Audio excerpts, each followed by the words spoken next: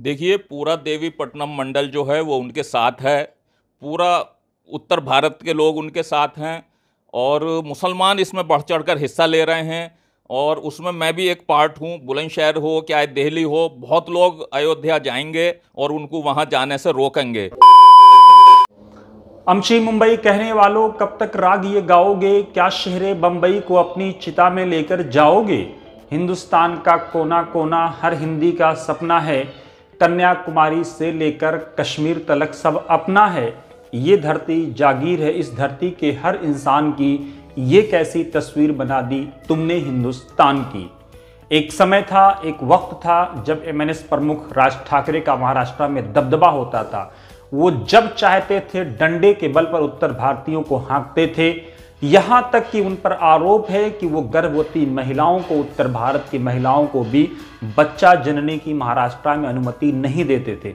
उन पर बहुत सारे संगीन आरोप हैं। उत्तर भारतीयों को भैया जैसे लकब से मुलकब करके, उनको बदनाम करके, उनको भद्दी गालियाँ देने का भी एमएनएस प्रमुख पर आरोप है।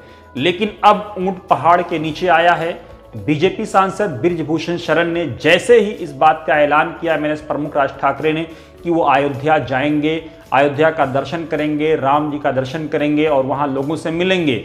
उनका ये ऐलान उनके गले की हड्डी बन गया। ब्रिजभूषण शरण भाजपा के सांसद, छह बार से लोकसभा के सांसद ब्रिजभूषण शरण ने उनके इस दौरे का विरोध करने का फैसला किया है। उन्होंने कहा कि जब तक उत्तर भारतीयों से राज ठाकरे माफ़ी नहीं मांग लेते हैं, अयोध्या की पावन धरती पर तो दूर की बात लखनऊ पर भी उनके पाँव नहीं पड़ने देंगे। उन्होंने उत्तर भारत के लोगों से अपील की है और महाराष्ट्र के लोगों से भी अपील की है कि वो राज ठाकरे की बर्बरता का विरोध करें और उनसे कहे कि वो माफ़ी मांगें।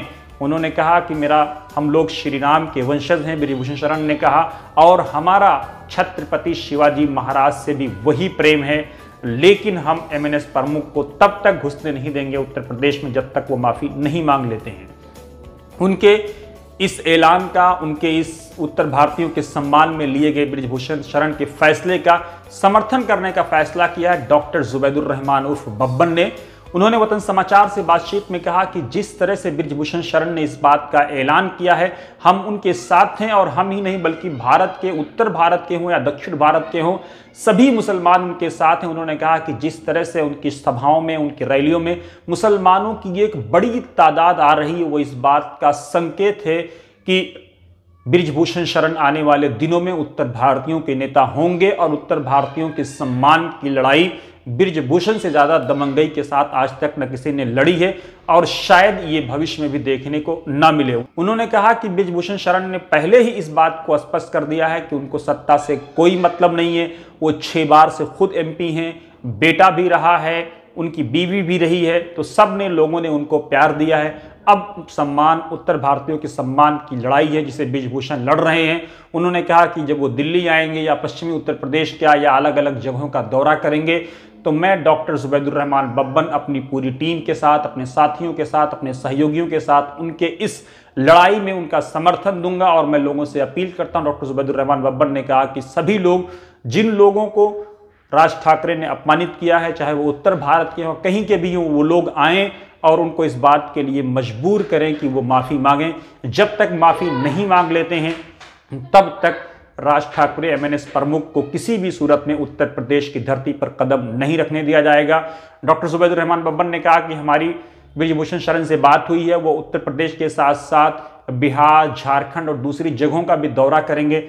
और जिन लोगों को एमएनएस प्रमुख ने सताया है, तकलीफें दी हैं, पीड़ित प्रताड़ित किया है, वो सब के सब लोग सामने आएँगे और जम करके इसका विरोध करेंगे और वो तब तक उसका विरोध करते रहेंगे जब तक वो माफ़ी नहीं मांग लेते हैं।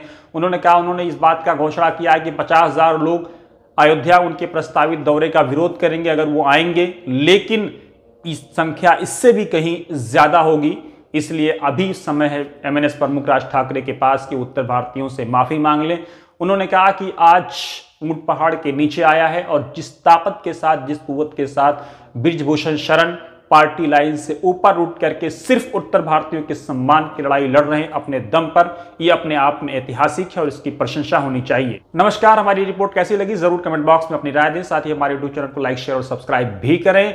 आप हमें डोनेट भी कर सकते हैं डिटेल में खबरें पढ़ने के लिए हमारी वेबसाइट www.वतन और उर्दू पर भी लॉगिन कर सकते हैं।